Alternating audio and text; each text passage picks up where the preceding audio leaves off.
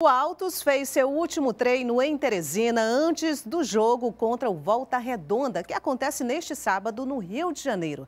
Após o pedido de demissão de Luan Carlos, o auxiliar Cristiano Basoli assumiu o comando Alviverde e tem a dura missão de fazer o Altos escapar do rebaixamento na terceira divisão nacional.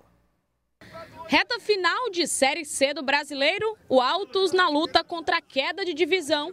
E após quatro técnicos, a diretoria decidiu apostar em um nome da casa para seguir no comando.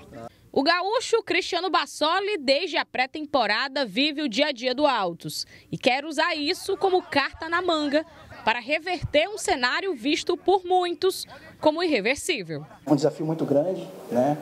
E eu falo que a oportunidade ela vem nos momentos, nunca no momento bom, né? São raros os momentos que, que são tranquilos, ela sempre vem com o pé na porta. E aí a forma de começar é entender um pouco mais do que a gente via vendo dos atletas, fazer com que eles tenham confiança de executar o que vai ser pedido e, e, que a gente faça grande jogo. Para a sequência do trabalho, o time ganhou um reforço na comissão técnica, o auxiliar Marcelo Copertino, que já se apresentou e é um nome que conhece bastante o time alviverde e as peças que aqui estão.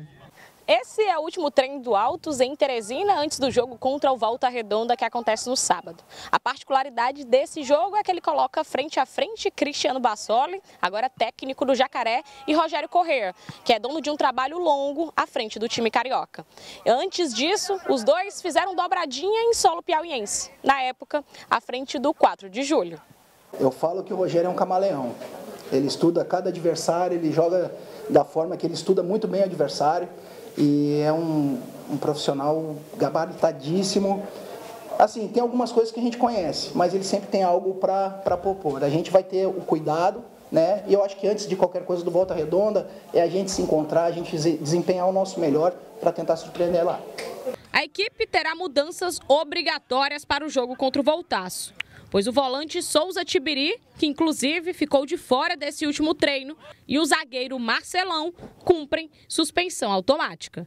Mas além deles, o técnico Cristiano Bassoli sinaliza mais mudanças entre os 11. Suas primeiras decisões entre as cinco batalhas que tem à frente do Jacaré.